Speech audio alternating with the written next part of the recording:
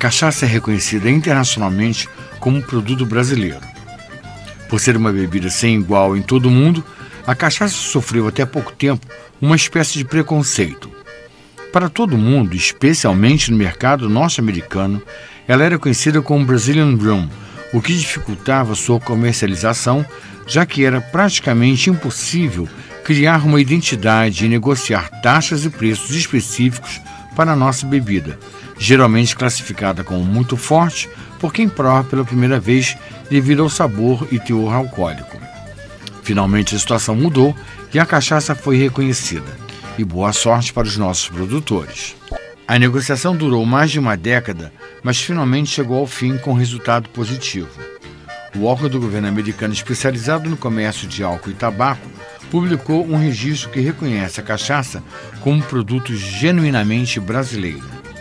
A produção da cachaça faz parte da cultura brasileira e esse reconhecimento evita que aconteça com o Brasil o que aconteceu com a Rússia, que perdeu o direito exclusivo internacional de usar o nome vodka como uma marca do país, porque não tinha seu registro na Organização Mundial de Comércio, a OMC.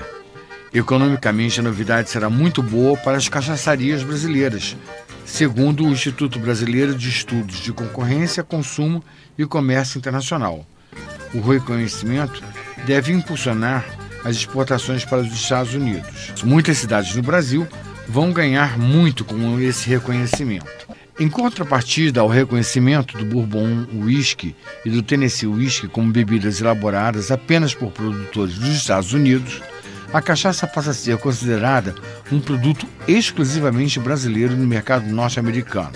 Para o mercado americano, as vendas tiveram um aumento de 23,3% em valor e 35,1% em volume, em comparação com 2011. Com o reconhecimento da cachaça como produto genuinamente brasileiro por parte dos Estados Unidos, o que incorpora valor à bebida, a expectativa é de que os exportadores brasileiros consolidem as vendas ao mercado americano como um dos mais promissores para os próximos anos. De acordo com a Agência Brasileira de Promoção de Exportação e Investimentos, o sucesso nos Estados Unidos ajudará a expansão da cachaça em todo o mundo. A cachaça nasceu com o Brasil desde o século XVI e segue consolidada na nossa cultura. Sua expansão internacional agora avança justamente onde a concorrência e o gigantismo do mercado impõem desafios, assim como benefícios importantes, afirma a agência. O Ministério da Agricultura, Pecuária e Abastecimento abriu consulta pública para ouvir a população sobre o controle de envelhecimento da cachaça artesanal. Uma das principais etapas para a qualidade do produto é o envelhecimento. Para valorizar ainda mais esse produto tipicamente brasileiro, serão estabelecidas regras para que a cachaça envelheça com qualidade. Obtida pela destilação do caldo de cana-de-açúcar fermentado, a cachaça virou marca do Brasil no exterior. No país, são produzidos por ano cerca de 1,5 bilhão de cachaça, a maioria em destilarias e uma parte da fabricação artesanal em pequenos alambiques. Temos mais de 50 marcas de cachaças no Brasil, envelhecidas em barris de carvalho, amburana ou cobre.